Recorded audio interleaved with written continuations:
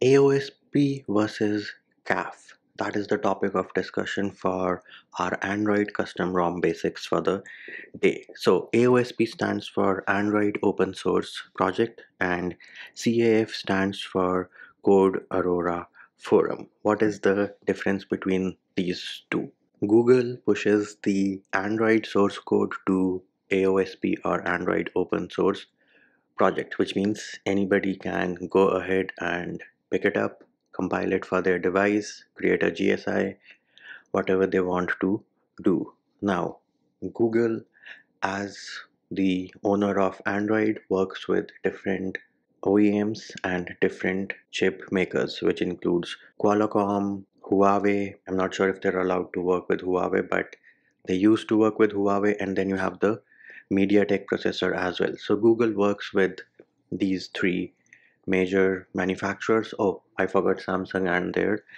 Exynos series. So processors, these are your different options, right? Google is going to push the source code to AOSP. Now, CAF or CAF is maintained by Qualcomm. So this is where Qualcomm takes AOSP code and optimizes it for their processor, their chips. Everybody does that.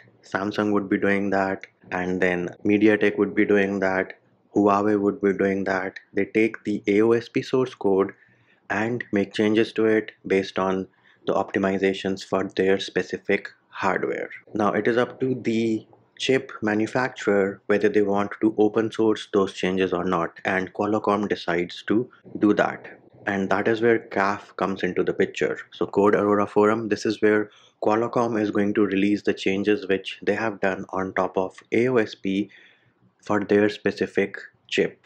And they do release tags and branches for different chips right? So your 730 has a different tag and a different release similarly 865 870 so it is based on the processor as well and there is a subdivision amongst CAF for the different processors which Qualcomm makes. So it is all out of goodwill and Qualcomm's own wish that they are releasing the source code. Now Qualcomm devices eventually the custom ROM developers they pick up this CAF tag CAF release and implement it in their custom ROM which is why some ROMs are a mix of AOSP and CAF. Some ROMs are totally CAF.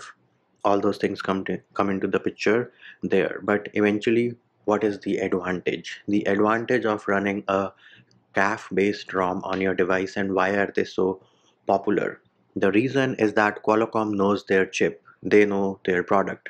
So they are the best people to optimize it. And when they release that optimized source code, it will definitely be better than Google's because they know their product the best which is why there is a huge craze for CAF based ROMs. And you are supposed to get a performance increase as well with a CAF based ROM. So that is the only difference between AOSP and CAF. Now before you ask me why does Samsung not release the code changes or the optimizations they make? Why does Huawei doesn't do it, why does MediaTek doesn't do it. So again, it's all up to the chip manufacturer whether they want to share those optimizations and make them open source or not. And that is another reason why you see a bunch of development for Qualcomm or Snapdragon based devices as opposed to your Exynos, the MediaTeks and the Huawei's. Of course, Samsung does not allow bootloader unlock in the States, so their Qualcomm devices are generally bootloader locked. The Exynos one source code issues because of the optimizations and changes they have made. Same applies for MediaTek. So that will do it for this one and hope that cleared some doubts about AOSP versus CAF with respect to Android custom ROMs.